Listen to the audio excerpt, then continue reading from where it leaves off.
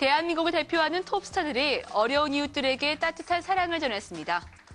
연예인 봉사단체인 따뜻한 사람들의 모임 회원들은 소년소녀 가장, 장애인, 독거노인 50여 명에게 장학금과 선물을 전달하며 특별한 저녁 시간을 가졌는데요. 특히 소유진, 유진, 서지혜 등 젊은 여자 스타들은 원더걸스의 노래 Nobody에 맞춰 율동을 선보여 큰 호응을 받았습니다. 이들 중 소유진이 가장 춤에 자신이 없다며 실토했는데요.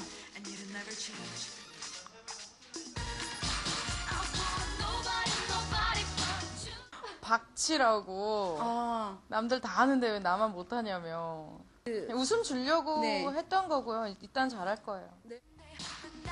원래는 진짜 원더걸스처럼 5인조였다고 하는데요. 맏언니 김언니가 빠지면서 4명으로 줄어든 것이라고 합니다. 아무래도 나이 때문에 좀 버거우셨다. 뿐만 아니라 탤런트 옥소리와 법정 공방 중인 박철도 참석해 눈길을 끌었는데요. 짧게나마 지금의 심경을 들을 수 있었습니다.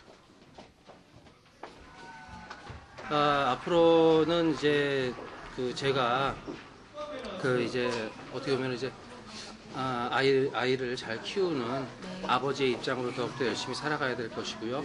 그리고 또 새로운 작품 준비 중에 있으니까 새로운 작품 또 시작을 갖다 해야 되고 또 그 글쎄요 뭐 저는 저의 길을 열심히 예, 가는 길이 아, 중요하지 않겠나 생각이 들고 겨울의 추운 날씨도 녹일 만큼 따뜻했던 따사모 스타들의 뜻깊은 자리였습니다.